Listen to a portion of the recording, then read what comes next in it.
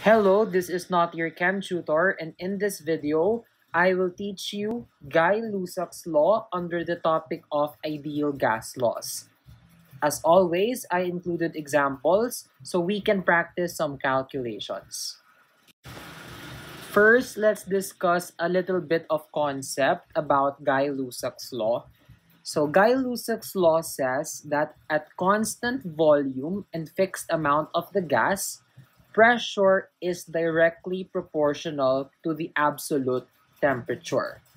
Again, pressure is directly proportional to the absolute temperature. So what do you mean by directly proportional? This means that if you increase the temperature, the pressure also increases. On the other hand, if you decrease the temperature, the pressure also decreases. So that's what you mean by directly proportional. And you can clearly see it on the graph of Guy-Lussac's law. As you can see in the graph, as temperature increases, the pressure also increases. Now let's proceed to the formula for Guy-Lussac's law. The formula is very simple and easy to memorize. It's P1 divided by T1 equal to P2 divided by T2. Now let's define the variables. So P1 is your initial pressure and P2 is your final pressure.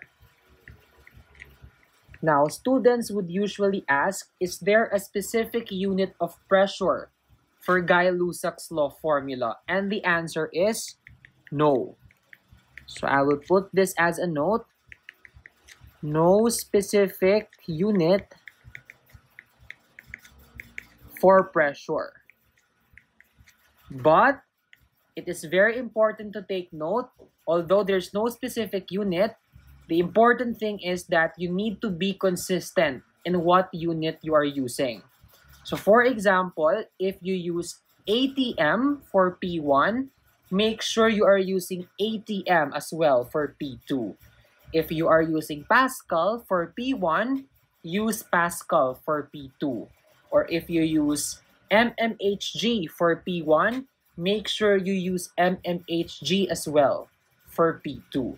So again, no specific unit for pressure, but be consistent with the unit.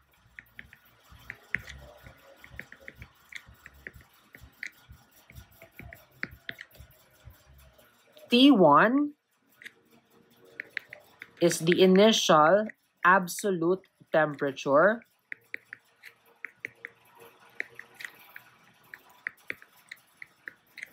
and T2 is the final absolute temperature.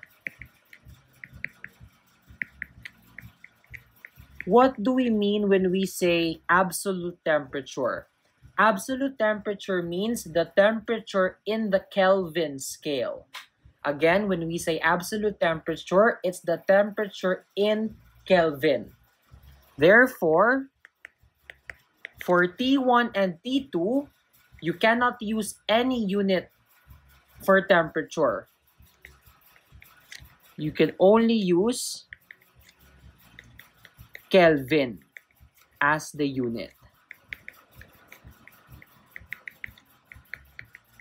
For temperature. So again, just a quick recap. For pressure, you can use any unit, but be consistent with that unit. And for temperature, you can only use Kelvin as the unit. Let's proceed to example 1. A gas in a closed container exerts a pressure of 1.16 atmosphere at 29 degrees Celsius. If the temperature is dropped to 13 degrees Celsius, what will be the pressure of the gas? So this problem talks about the relationship of pressure and temperature. So we will be using Guy-Lussac's law and we already discussed the formula. P1 over T1 equal to P2 over T2. Now, if we read the problem, we can identify the variables. 1.16 atm is the initial pressure or P1. 29 degrees Celsius is the initial temperature or T1. 13 degrees Celsius is the final temperature or T2. So let's just list the given. P1 is 1.16 atm. So again, you can use any unit of pressure you like. So we can use atm. P2 is not given in the problem. So P2 is unknown. T1 is 29 degrees Celsius. But remember, in Guy-Lussac's law, in the formula, we can only use Kelvin as the unit. So we need to convert degrees Celsius to Kelvin. And if you can recall, in order to convert degrees Celsius to Kelvin, you just add 273.15. So for example, our T1 is 29 degrees Celsius. You just add 273.15 and this is equal to 302.15 and this will be Kelvin. So this is our T1. For T2, we are given 13 degrees Celsius. So 13 plus 273.15 and that is equal to 286.15 Kelvin. So this is our T2. Now let's substitute the numbers into the formula. 1.16 atm divided by T1 is 302.15 Kelvin. This is equal to P2, which is unknown, so just write P2 divided by T2 is 286.15 Kelvin. So we will be solving for P2. So what you can do is you can do cross multiplication. So this becomes 1.16 atm times 286.15 Kelvin equal to P2 times 302.15 Kelvin. And to solve for P2, divide both sides by 302.15 Kelvin.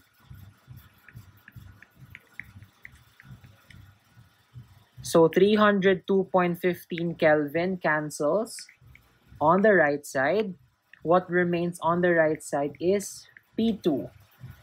And on the left side, Kelvin will cancel out. So what is left is 1.16 atm times 286.15 divided by 302.15. And if you solve that in your calculator, that is equal to 1.099, approximately 1.099 atm. So the answer to this question is the final pressure is 1.099 atm. For example, 2, a gas in a closed container is pressurized from 101 kilopascal to 150 kilopascal. If the final temperature is 303 Kelvin, what was the initial temperature? So in this problem, we are given 101 kilopascal. This is our P1. And our final pressure is 150 kilopascal. And it says here, if the final temperature is 303 Kelvin, So this is our T2 or the final temperature and the initial temperature is missing or unknown. So let's substitute the values into the formula. P1 is 101 kilopascal. T1 is unknown, so just write T1. This is equal to P2 or 150 kilopascal divided by T2 which is 303 Kelvin. Again, what you can do is you can cross multiply. So this becomes 101 kilopascal times 303 Kelvin equal to 150 kilopascal times T1. So if you want to solve for T1, just divide both sides by 150 kilopascal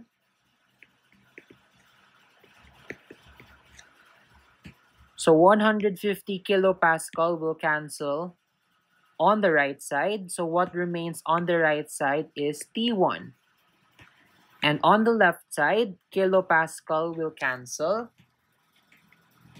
So you will solve this in your calculator. 101 times 303 Kelvin divided by 150. And the answer is 204.02 and the unit is Kelvin. So the initial temperature is 204.02 Kelvin. And this is the answer to the question.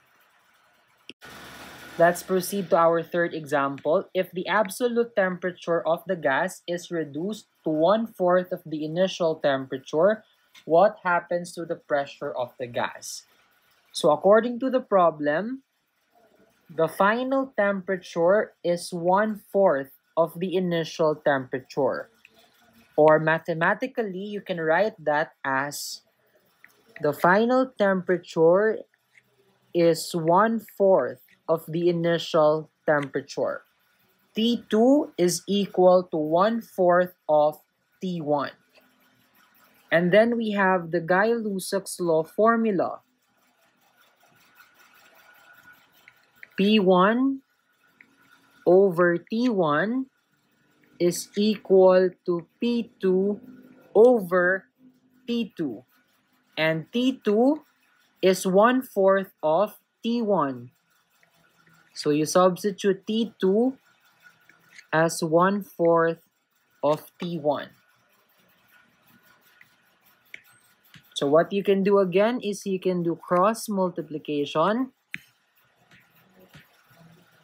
so this becomes P1 times 1 fourth T1 equal to P2 T1.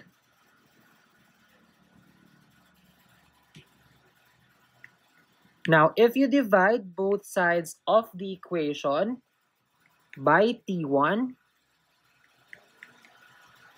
what happens is that T1 will cancel on the left side and T1 will also cancel on the right side. So let's continue it here.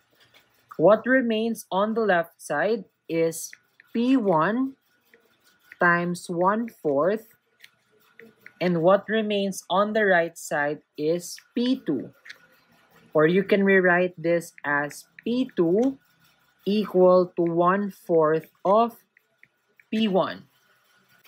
So the answer to this question is the pressure